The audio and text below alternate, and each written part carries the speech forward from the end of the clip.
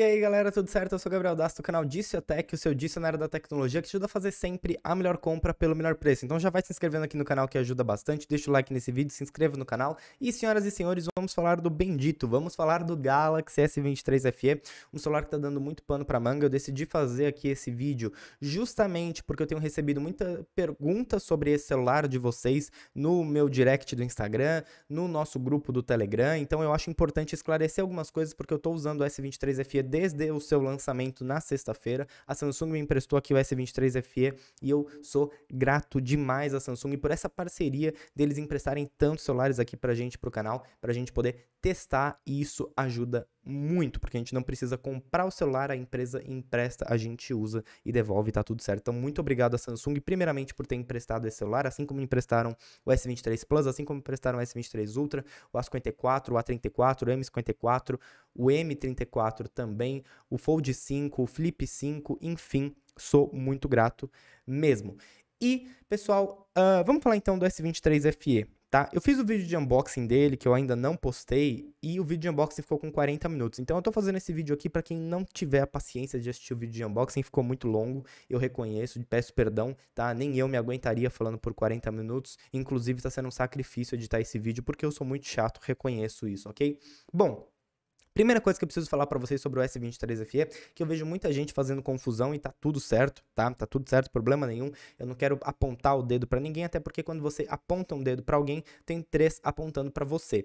Então, eu não quero é, julgar ninguém, tá tudo certo, mas eu preciso dar a minha opinião, afinal de contas vocês estão me perguntando e é para isso que esse canal serve, para eu dar a minha opinião sobre os produtos tecnológicos que acontecem, que são lançados.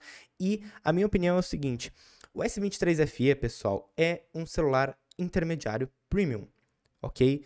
Ah, Gabriel, você tá maluco ao dizer que o S23 FE é um intermediário premium. Não, eu não tô maluco ao dizer isso. Existe um certo embasamento e existe uma certa lógica no que eu tô falando. O que, que um celular precisa para ser um top de linha? Para ser um top de linha, ele precisa ter as melhores tecnologias do ano corrente. Portanto, se a gente está no 2023, ele precisa ter o melhor processador de 2023, que é o Qualcomm Snapdragon 8 Gen 2, que está presente no S23, no S23 Plus e no S23 Ultra. Ele não tem. Ele tem um processador do ano passado, do começo do ano passado, da linha S22 que foi lançada lá fora, que está sendo relançado agora. Não tem nenhum problema nisso, tá tudo bem, não tenho absolutamente nada contra esse fato, mas isso já o caracteriza como um intermediário premium. Ele não é realmente um top de linha. O top de linha da linha S é do S23 para cima. Aí você tem o S23, que é o top de linha de entrada, e até o S23 Ultra, que é o top do top, digamos assim, tá? Então ele é um intermediário premium. Por que, que eu digo isso também? Primeiro, porque ele tem um acabamento muito parecido com o Galaxy A54. E a própria Samsung sinaliza pra gente que ele está mais para um intermediário do que para um top de linha com o posicionamento do flash. Sim, o posicionamento do flash. Isso é um negócio que está todo mundo deixando passar batido, mas como vocês sabem aqui no canal eu não deixo absolutamente nada passar batido. O flash do S23 FE está centralizado entre a primeira e a segunda câmera. Se vocês repararem, todos os celulares da linha Galaxy A tem o flash centralizado entre a primeira e a segunda câmera, enquanto que na linha Galaxy S o flash fica exatamente do lado da câmera aqui principal, da primeira câmera no caso. Então a própria Samsung está passando para a gente essa mensagem de que ele está mais para um intermediário do que para um top de linha, certo? Pode parecer bobagem, pessoal, mas é uma mensagem que a empresa já passa no design do produto e que você precisa ter o feeling para sentir isso. Então, eu vejo muita gente dizendo: "Ah, como ele é como se fosse um top de linha". E não é justo dizer isso. Não é justo dizer que ele é como se fosse um top de linha, porque como se fosse não existe e porque não é legal criar essa expectativa num produto que não tem essa proposta de ser um top de linha. O S23 FE não tem proposta de ser top de linha tá? Ele é aquele celular intermediário premium, bacana, para você comprar por um preço bacana, focado em custo-benefício e tudo mais, e legal, essa é a proposta dele. Não é ser um top de linha. Então eu quero deixar isso claro, porque é, entre ser um top de linha e ser um intermediário premium, existe um muro muito largo onde às vezes as pessoas nem caem para um lado, nem caem para o outro, fica ali em cima do muro. Então eu queria determinar isso, que ele é um intermediário premium, ok? Para mim, ele é um intermediário premium, vocês podem discordar, mas para mim, olha só, só de você olhar aqui o flash entre a primeira e a segunda câmera, você já decide isso. Se fosse um top de linha como a linha Galaxy S, o flash estaria aqui, olha, do lado da primeira câmera. Essa identidade visual é uma identidade visual de Galaxy A. E também o que ressalta isso é a quantidade de bordas na frente. Como vocês podem ver, ele tem bastante borda aqui embaixo, bastante borda em cima e dos lados, ok? E essas bordas também é uma identidade visual da linha Galaxy A. O A54 é muito parecido com isso aqui. Se você pegar o S23, não tem essas bordas que ele tem. Agora, é verdade que a tela dele é a mesma tecnologia do S23. Então, já aproveitando para falar também da tela, é uma tela de excelente qualidade, com aqui o leitor digital na tela, é muito boa. A tela sim é de Galaxy S23, Dynamic AMOLED 2X. Então, se tem algo que a gente pode dizer aqui que é de um top de linha, é a tela, sem sombra de dúvidas. Mas as bordas realmente incomodam um pouco, porque a gente está em pleno 2023 e uh, você vê o S23 FE tendo um aproveitamento de tela pior que o S21 FE. Então, essa é uma questão complicada, porque como que você explica que um modelo de praticamente dois anos atrás, que foi lançado no comecinho de 2022, né, agora a gente já está no final de 2023, tinha menos borda que um produto atual? É algo que não tem muita explicação. Então, a, as bordas na tela é algo que muita gente tem reclamado e que também preciso deixar claro aqui para vocês, tá? Bom, é, outra coisa do S23 FE que eu tô vendo muita gente reclamar e fazer um estardalhaço e tal, é o preço. O S23 FE foi lançado por 4 mil reais. Sim, ele foi lançado por 4 mil reais, ok? E isso não significa absolutamente nada. Por que, que isso não significa nada? Porque é apenas o preço sugerido, meu Deus. Eu preciso explicar isso aqui muitas vezes e todo lançamento estou eu aqui falando isso. É o preço sugerido apenas. Então, fiquem calmos. Ele foi lançado por 4 mil reais, mas não, a Samsung não tá maluca. Quem já acompanha esse mercado de tecnologia há mais tempo, lembra que o Galaxy S20 FE, a primeira versão lá com Exynos, também foi lançada por 4 mil reais. Então, o S20 FE no finalzinho de 2020 foi lançado por 4 mil e pouco tempo depois ele caiu para 1.800. Então, não tenho a menor sombra de dúvida que vai acontecer isso com esse cara aqui. Não digo de cair para 1.800, mas de cair para 2, 2.200 com certeza. E vocês podem me cobrar. Se pelo menos até junho do ano que vem esse cara aqui não estiver sendo vendido por 2 mil reais, eu não me chamo mais Gabriel com dois L's, ok? Meu nome é Gabriel com dois L's e eu abdicarei desse nome. Então, uh, preço sugerido de 4 mil reais. Gente, ignora. Por favor, peço para vocês, ignora esse preço. O preço vai cair bastante. Entre o preço sugerido e o preço praticado tem uma diferença gigantesca, porque o varejo faz o preço que ele quiser. Então a marca está sugerindo vender a 4 mil, mas o varejo vai vender ao preço que ele achar correto. Outro ponto aqui que a gente precisa falar é o processador dele. Ele traz o Exynos 2200, correto? Como já comentei com vocês, o mesmo Exynos 2200 do S22. E me causa uma estranheza ver o Exynos 2200 sim aqui nesse celular, porque no comecinho desse ano a Samsung fez algo que a gente aplaudiu muito e que eu aplaudi de pé, na ponta dos pés, que foi o Snapdragon 8 Generation 2 for Galaxy. Então, o Snapdragon 8 geração 2 para Galaxy. A Samsung fez uma parceria com a Qualcomm para ter um Qualcomm Snapdragon exclusivo para os Galaxy. E isso é demais, isso é lindo, isso é cinema, entende? É algo muito bacana e que a gente aplaudiu porque realmente era o correto a se fazer. A Samsung abdicou de fazer o Exynos esse ano e fez uma parceria com a Qualcomm.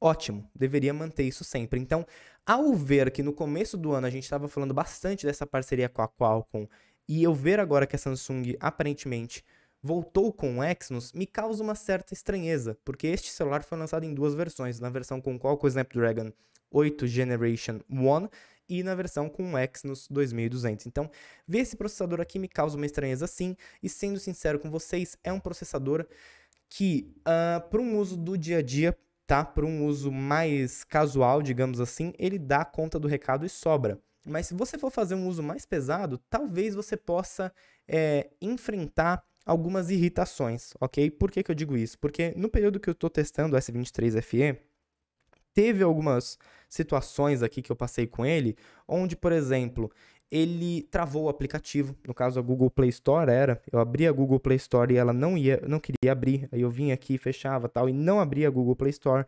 No outro caso foi o YouTube.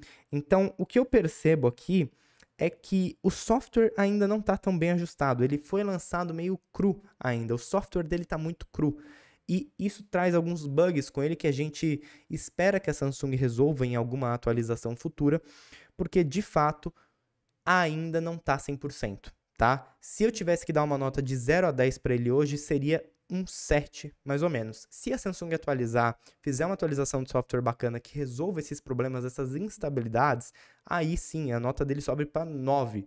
Porque outro problema que eu tive também foi no Genshin Impact que eu tava jogando e o celular fechou o jogo na minha cara. Então ele tá crashando muitas vezes os jogos e não sou só eu que tô passando por isso. Eu imaginei que fosse só eu que eu estivesse ficando maluco, mas não sou só eu que estou passando por isso. Tenho conversado com alguns youtubers tech também para entender se como é que isso acontece e realmente ele está crashando em alguns jogos, tá? Uh, o que não é normal. O que não é normal, mas a gente espera que a Samsung corrija e a Samsung deve corrigir com uma atualização. A Samsung, ela tem isso de melhorar os seus celulares com uma atualização. É algo quase milagroso. Um celular que antes de atualizar não estava tão bom, depois de atualizar vira um próprio Deus, né? Então, a gente espera que isso aconteça aqui também, tá? É outra coisa, pessoal, a autonomia de bateria dele tem me incomodado um pouco. A autonomia da bateria dele tem me incomodado um pouco porque ele tá bebendo bastante bateria, ok? Ele tá bebendo bastante bateria. Não sou só eu também que estou reclamando disso, mas ele tá bebendo bastante bateria, principalmente quando você não usa ele, que é o mais surpreendente. Então, isso me incomoda. Porque, por exemplo, se você vai dormir e deixa ele em 100%, quando você acorda ele tá em 72%. Estou dando um exemplo. Em standby ele está consumindo uma bateria que ele não deveria consumir ok? Então você não usando o celular, ele está consumindo bateria. Isso também deve ser algum bug, algum mau funcionamento que a gente espera que a Samsung corrija. Então percebam, eu recebi o S23 FE para testes, gostei do celular, mas do que eu tenho testado nele até agora, eu não tenho sentido tanta firmeza assim, se é que vocês me entendem. É um celular bacana, é um celular interessante, mas pelo que eu estou usando, não estou sentindo firmeza. Se a Samsung porventura atualizar ele, e ela vai fazer isso, tá? E resolver essas coisas aqui que a gente tem reclamado, ele vai se tornar um celular bem mais bacana e no preço certo, eu não tenho dúvida que vai vender muito mas por enquanto fica complicado. Eu sei que muita gente se preocupa bastante também com o aquecimento do S23 FE, porque isso era um problema crônico no S21 FE. O S21 FE aquecia bastante em jogos, tal, a ponto de realmente incomodar e prejudicar a performance. E já digo para vocês que no S23 FE isso não acontece tanto, tá? No uso assim normal, inclusive eu vou medir agora para vocês, ele não passa dos 35 graus. Então, eu vou pegar aqui o termômetro, olha só, quem sabe faz ao vivo. Vou medir aqui para vocês e vocês vão perceber, olha, ele está batendo aqui 32 graus, tá? 32 graus, esse, essa é a temperatura aí que ele fica em média, 32.2 graus Celsius, ok? Então, é, realmente, no uso normal ele não está aquecendo. Quando você vai para algum jogo, ele chega a bater 44 graus. Eu fiz esse mesmo teste aqui que eu fiz agora no Fortnite e ele bateu 44 graus que não é uma temperatura tão alta. Eu esperava que ele fosse aquecer mais. Então, sendo muito sincero, esse problema de superaquecimento foi resolvido. Esse problema de superaquecimento foi resolvido. A Samsung disse no anúncio desse celular que eles aumentaram a câmara de vapor, né, a vapor chamber, em 39%, se não me engano, e parece que é verdade, porque realmente ele não esquenta mais como o S21 FE esquentava. Então, esse problema de superaquecimento, esse fantasma do superaquecimento, vocês já podem tirar. Garanto para vocês que Ok, ele é um pouquinho mais esquentado do que um Snapdragon, óbvio, mas não é mais aquela coisa que a gente via no S21 FE, tá bom? Isso garanto para vocês aqui de verdade. Fiquei jogando Fortnite ao vivo com vocês por 15 minutos mais ou menos e ele não passou de 44 graus. Então, isso foi resolvido. Falando de câmeras, ele tem uma câmera muito interessante, porque o sensor principal dele é um sensor de 50 megapixels Samsung ISOCELL GN5, que é um sensor muito bom que foi usado no Galaxy S22. E quando eu usei o Galaxy S22 Plus, eu adorei as câmeras dele. Então, o S23 FE tem tudo para ter câmeras incríveis. Porém, contudo, todavia, o que eu percebo é que o software de câmeras dele ainda precisa também daquele tuning final. Então, algumas selfies, por exemplo, que eu tiro, eu percebo um tom um pouco esverdeado. Em algumas fotos com a câmera traseira, eu vejo que o HDR às vezes se atrapalha um pouco, enfim, acaba deixando muito escuro, com um sharpness muito forte. sabe? O sharpness é aquele efeito de nitidez, sabe? Muito forte, que define muito as linhas. Enfim, então são ajustes finos que precisam ser feitos na câmera e que a Samsung vai fazer. Vocês podem ficar tranquilos. Agora, eu acredito que isso vai demorar um tempo, talvez um, dois meses para acontecer. E até lá, vocês com certeza vão ver é, muita gente criticando muito o S23 FE. Então, é complicado isso porque o produto me parece que foi lançado um pouco na correria e o software dele não é uma versão final. Claramente não é uma versão final, tanto que ele tem alguns bugs, está consumindo muita bateria. A câmera poderia ser melhor do que é, porque eu usei o S22 Plus, eu sei do que essa câmera é capaz e aqui ela não está no seu 100%, digamos assim. Ah, uma coisa boa da câmera que eu tenho que dizer para vocês é Primeiro, a gravação de vídeo em 4K, que ele grava em 4K alternando em todas as câmeras durante o vídeo. Isso é algo muito bom, que praticamente só a Samsung faz, e isso é realmente louvável. E o Nightography, que também está muito bom. Então, o modo Nightography e a gravação de vídeo, não tenho o que reclamar, tá? Mas as fotos ainda falta. Falta aquele salzinho, aquele tempero final, assim, para deixar perfeito. Então, Câmera, eu diria que é um dos menores problemas do S23 FE, porque uma atualização deixa as câmeras bem legais. E falando de acabamento, ele tem o IP68, ele é construído em vidro atrás, então é importante vocês se atentem a isso, ele é vidro, o que é uma melhoria em relação ao S21FE. O S21FE era construído naquele acabamento de plástico feio, tal, que a gente reclamava bastante aqui, né? Aquele acabamento de plástico feio, ele é construído em vidro, assim como o A54. Vidro com proteção Corning Gorilla Glass 5, então também bem legal. A lateral aqui, o frame dele é de alumínio, que também é bem legal. Eu particularmente não gosto tanto da pegada dele, porque ele tem essa traseira assim chapada e as laterais retas. Para você pegar é um pouquinho incômodo, mas nada que uma capinha não resolva, deixando bem claro aqui para vocês. Então, do ponto de vista do acabamento dele, eu gosto, gosto do acabamento dele porque é um acabamento em vidro. Não tem mais o que reclamar também. Se fosse plástico, a gente reclama, reclamaria. Mas como é vidro, não tem o que reclamar, tá? Então, você pode dizer sim que ele se parece muito com a 54, eu concordo, inclusive é muito fácil confundir ele com a 54. Eu imaginava que o flash não fosse ficar aqui, eu imaginava que o flash fosse, fosse ficar mais em cima. É, então, sim, ele tem a mesma carcaça do A54, inclusive as mesmas dimensões. Se você for aí num site qualquer de ficha técnica e comparar as dimensões do A54 com as dimensões do S23 FE, você vai ver que são praticamente as mesmas dimensões, espessura, altura, largura, tal. Dá uma olhada e vê o que eu estou falando. Então é realmente muito parecido, até em tamanho com o A54. Bom, uh, no final das contas, pessoal, eu indico ou não indico o S23 FE?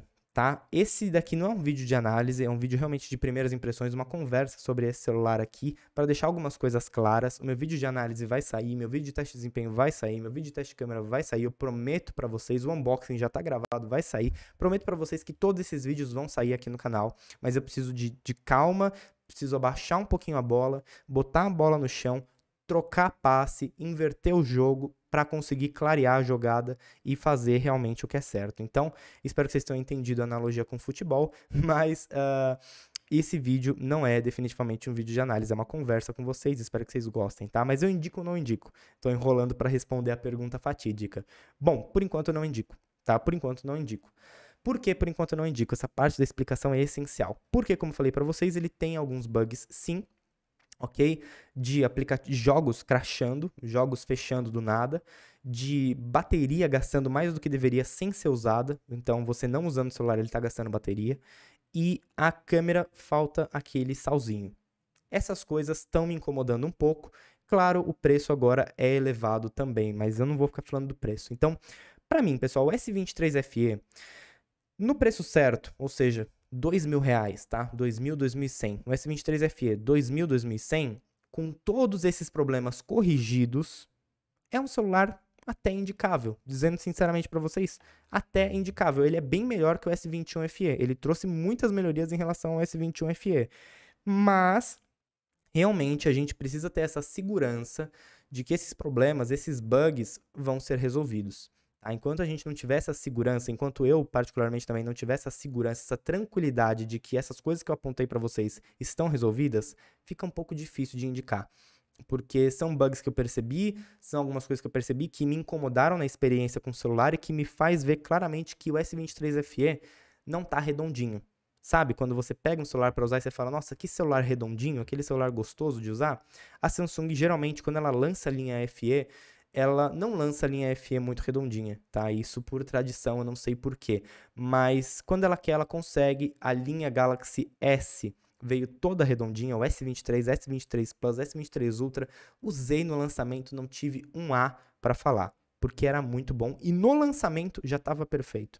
Agora, o S23 FE parece que faltou ainda é, aquela retocada final. Faltou o pão de queijo ficar mais 5 minutinhos no forno para dar aquela douradinha. Tô fazendo várias analogias para ver se vocês entendem. Então, eu acho que o S23FE é isso. Ele é um pão de queijo que faltou ficar mais 5 minutinhos no forno e aí sim, com tudo certinho, fazer um lançamento bacana de um celular que é bacana, mas que talvez tenha a sua imagem manchada por causa desses bugs iniciais é, do lançamento dele, tá? Então é isso, pessoal. Por enquanto não indico o S23 FE, esperem o preço cair, esperem chegar uma atualização que realmente resolva. Se quando essa atualização chegar eu ainda estiver testando ele, eu vou trazer vídeo para vocês sem sombra de dúvidas, porque é o que eu mais quero, poder falar bem desse celular. Mas por enquanto é, fica difícil realmente indicar ele, tá? Então é isso. Esperem o preço cair, vai cair. Esperem uma atualização que resolva esses problemas que eu comentei com vocês e essa atualização vai chegar, tá bom? É isso, espero que eu tenha sido claro. Tentei aqui ser o mais é, neutro possível e nem ficar bajulando o produto gratuitamente e nem ficar criticando também o produto gratuitamente, porque para mim é, nenhum dos dois funciona. Então eu tentei trazer minha opinião de uso, que eu estou usando ele já é, sexta, sábado, domingo, segunda. Então, estou usando ele aí, vai, uns quatro dias mais ou menos. E a minha opinião sincera para vocês, tá bom? Um vídeo de conversa, 21 minutos, desculpa pelo vídeo longo, peço perdão de verdade, mas tem muita coisa para ser dita sobre esse celular e eu realmente até que gostei dele, tem muito potencial. Se o S, eu juro para vocês, o S23 FE, se ele for lapidado bonitinho pela Samsung, se ele tiver aquele cuidado especial, aquele carinho no software, é um celular que vai vender que nem água no deserto, tá? Por dois mil reais. Uh, é isso, essa é a minha opinião, tá bom? Se vocês quiserem discordar, os comentários estão aí para isso. Espero que vocês tenham gostado desse vídeo. Compartilha, deixa o like. É isso aí, pessoal. É... Não tenho o que falar. não tenho o que falar. Não, é, acho que eu falei tudo que eu tinha para falar, tá bom? Espero que vocês tenham gostado desse vídeo. Até a próxima. Like, se inscreve aí. Eu vou ficando por aqui. Até a próxima. Tchau.